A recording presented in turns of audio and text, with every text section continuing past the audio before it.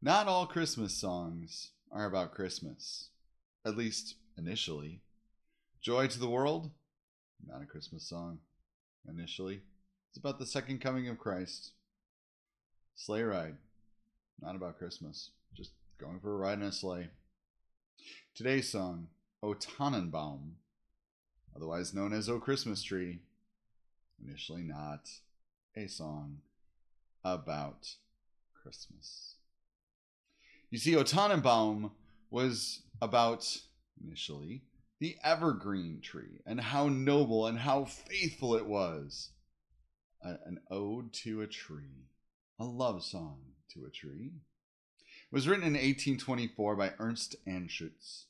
And as the 19th century went on, the idea of bringing a tree into the house to decorate it at Christmas time became very popular. And so, capitalizing on this phenomenon, Anschutz writes two more verses relating to Christmas, turns it into a song about the Christmas tree. Again, a love song to a different kind of tree.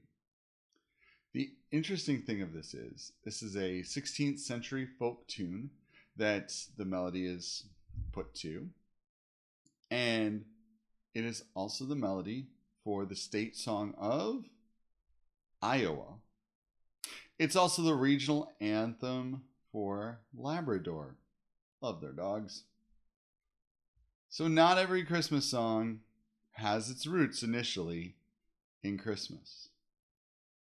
But like Oh Christmas Tree, it's all about the nostalgia and the love of Christmas.